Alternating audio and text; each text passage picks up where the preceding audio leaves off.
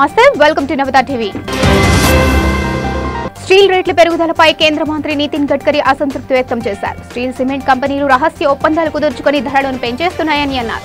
ప్రతి స్టీల్ కంపెనీకి సొంత ఐరన్ ఓర్ గనులు ఉన్నాయని కరెంటు లేబర్ కాస్ట్ పెరగకపోయినా ధరలను మాత్రం పెంచేస్తున్నారని మండిపడ్డారు. స్టీల్ రేట్లు ఇలాగే పెరుగుతూ ఉంటే ప్రధాని కల అయిన ఐదు ట్రిలియన్ల ఆర్థిక వ్యవస్థను చేరుకోవడం కష్టమేనన్నారు. సర్కారు అమ్మఒడి కార్యక్రమం నిర్వహించుకోవచ్చని అయితే ఎన్నికల కోడ్ పాటించాల్సిందేనని రాష్ట్ర ఎన్నికల కమిషన్ సఖ్యలో జారీ చేసింది.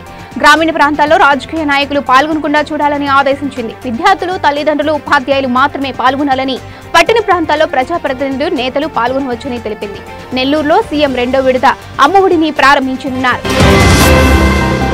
ఇటీవల ఏపీలోని ఏలూరులో అంతు చిక్కని వ్యాధి వందల మందిని అతలకుతలం చేసిన సంగతి మరొక ముందే తెలంగాణలోని వికారాబాద్ జిల్లాలో వింత వ్యాధి కలగలం రేగింది. ఇప్పటి వరకు ఒకరు మరణించగా నూట ఇరవై మంది ఆసుపత్రుల పాలయ్యారు. పన్నెండు గ్రామాల్లో ఒక్కసారి ప్రజలు ఫిట్స్తో బాధపడుతూ ఆసుపత్రులకు క్యూ కట్టారు. ఇప్పటి వరకు పదిహేడు మంది డిశ్చార్జ్ కాగా బాధితులు ఎమ్మెల్యే ఆనంద్ పరామర్శించారు. అయితే వింత వ్యాధి లక్షణాలకు కళ్ళు కారణం కావచ్చని ఓ వాదన వినిపిస్తోంది. దీనిపై ఎమ్మెల్యే స్పందిస్తూ ప్రజలు మూర్ఛ లక్షణాలతో బాధపడుతూ ఉండడానికి కళ్ళు కారణం కాదా అనేది తేలుతుందని అన్నారు. పోలీసులు ఇప్పటికే పద్నాలుగు కళ్ళు కాంపౌండ్లను సీజ్ చేశారు. కల్తీ కల్లే అందుకు కారణమని స్థానికులు ఆరోపిస్తూ ఉండడమే అందుకు కారణం. తమిళనాడులో సంక్రాంతి సందర్భంగా అంగరంగ వైభవంగా నిర్వహించే జల్లికట్టు క్రీడలో అపశృతి చోటు చేసుకోంది. కృష్ణగిరి జిల్లాలో నిర్వహించిన ఈ వేడుకను తిలకించేందుకు పరిసర ప్రాంతాల నుంచి భారీగా జనాలు వచ్చారు. ఆ సమయంలో పక్కనే ఉన్న భవనం గోడకూలి ఇద్దరు మృతి చెందారు. ఈ ప్రమాదంలో పలువురికి గాయాలయ్యాయి. క్షతగాత్రులను స్థానిక ఆసుపత్రి తరలించి చికిత్స అందిస్తున్నారు. నెల్లూరు జిల్లా ఆత్మకూరులో వైఎస్ రాజశేఖర రెడ్డి విగ్రహాల ధ్వంసం వెనుక చంద్రబాబు ఉన్నారని మంత్రి బాలినేని శ్రీనివాసరెడ్డి ఆరోపించారు. రాష్ట్రంలో టీడీపీ ఉండదన్న భయంతోనే కుట్రలు చేస్తున్నారని మండిపడ్డారు. చంద్రబాబు రాష్ట్రంపైకి దొంగలను వదిలాడని వీళ్ళు దేవుళ్ళ విగ్రహాలను వైఎస్ విగ్రహాలను ధ్వంసం చేస్తున్నారని అన్నారు. చంద్రబాబు చెప్పినట్టే ఎస్సీసీ నిమ్మగడ్డ రమేష్ పనిచేస్తున్నారని విమర్శించారు.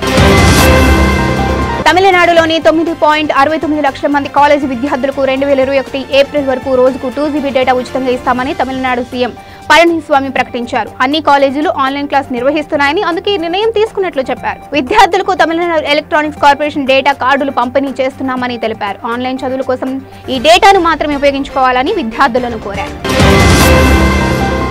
టీఆర్ఎస్ ఎమ్మెల్సీ కల్వకుంట్ల కవిత భూటాన్ పర్యటనకు వెళ్ళే సమయంలో మార్గ మధ్యంలో ఆగి స్థానికులతో ముచ్చటించారు. హిందుల్వయి గేటు వద్ద స్థానికులతో ఆమె మాట్లాడి వారితో ఫోటోలకు ఫోజులు ఇచ్చారు. ఇందుకు సంబంధించిన వీడియో ఫోటోలను ఆమె తన ట్విట్టర్ ఖాతాలో పోస్ట్ చేశారు. కవితతో ఫోటో దిగినందుకు స్థానికులు హర్షం వ్యక్తం చేస్తూ ఫోటోలు దిగిన అనంతరం మళ్ళీ కవిత తన కారులో బోధనకు వెళ్ళారు. అక్కడ నిర్వహిస్తున్న పలు కార్యక్రమాల్లో ఆమె పాల్గొన్నారు.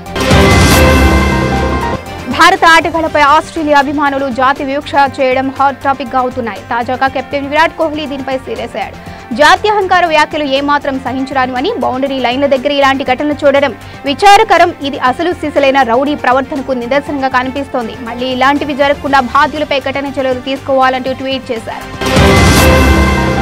హీరో మంచు మనోజ్ మంత్రి కేటీఆర్ను కలిసి తన కొత్త ప్రాజెక్ట్ స్పోర్ట్స్ మరియు ఎంటర్టైన్మెంట్ గురించి వివరించారు. దీనికి మంత్రి మద్దతు తెలిపారని తన సంతోషాన్ని అభిమానులతో పంచుకున్నాడు ఈ ప్రాజెక్టు ద్వారా యువత సీనియర్లకు సాయం చేయాలనుకున్నట్లు పేర్కొన్నారు.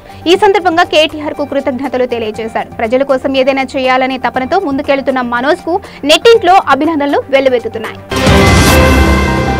మాజీ మంత్రి తన సోదరి అఖిలప్రియ అరెస్టు వెనుక రాజకీయ పెద్దల హస్తం ఉందని భూమా మౌనిక ఆరోపించారు. తన అక్కకు బెయిల్ వచ్చాక అందరి పేర్లను బయట పెడతానని హెచ్చరించారు. కేసులపై కేంద్ర మంత్రి కిషన్ రెడ్డి తెలంగాణ గవర్నర్ తమిళిసై డీజీపీని కలుస్తానని తెలిపారు. కేసులు రాజకీయ ఒత్తిళ్ళు భూమా కుటుంబానికి కొత్త కాదని తన అక్కకు బెయిల్ రాగానే భారీ ర్యాలీతో హైదరాబాద్ నుంచి ఆళ్ళగడ్డకు తీసుకొస్తామని అన్నారు. జిప్సంతో చేసిన చాక్ పీస్ ఆరోగ్యానికి హాని అని తెలుసుకున్న ఇద్దరు విద్యార్థులు ఆర్గానిక్ చాక్ పీస్లు తయారు చేశారు. ఆదిలాబాద్ మోడల్ స్కూల్లో చదువుతున్న హర్షిత్ వర్మ రుద్ర.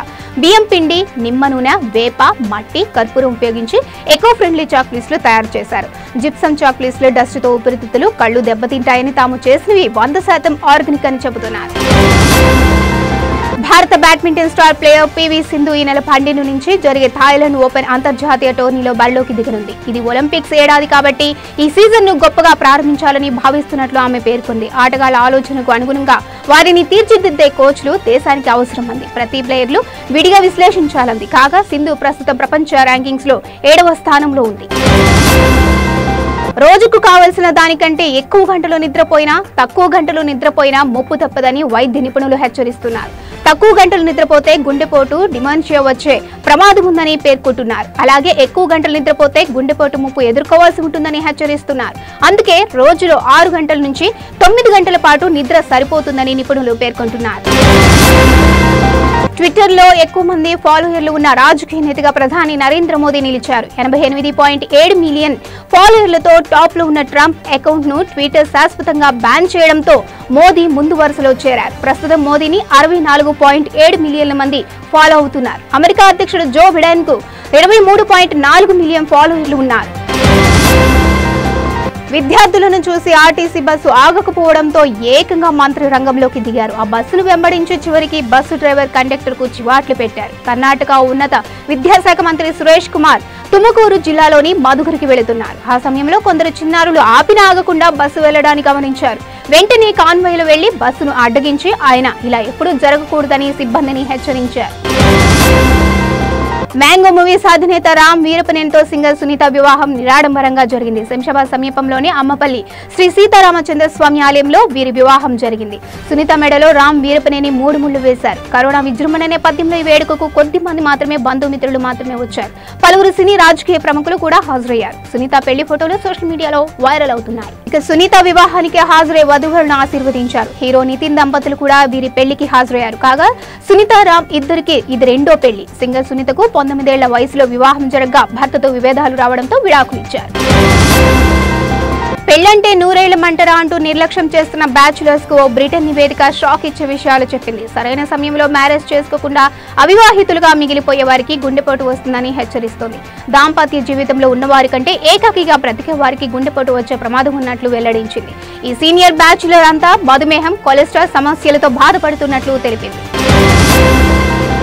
బాలీవుడ్ కండలు వీడు సల్మాన్ ఖాన్ కంట కన్నీరు పెట్టుకున్నారు. తనకు నచ్చిన Big Boss fourteen contestant Jasmin house నుంచి ఎలిమినేట్ అయ్యే సందర్భంలో ఆయన ఏడ్చినట్లు లేటెస్ట్ ప్రోమోలో చూపించాడు ఆమె అంటే ప్రత్యేక అభిమానం ఉన్న సల్మాన్ భావోద్వేగానికి లోనయ్యాడు. తన కోసం కాకుండా ఓ అమ్మాయి కోసం ఆయన ఏడవడంతో ఈ వీడియో వైరల్ అవుతుంది. దీంతో ఫ్యాన్స్ ఓ స్టార్ కెమెరా ముందు ఏడవడం ఇదే తొలిసారి అంటూ కామెంట్లు చేస్తున్నారు.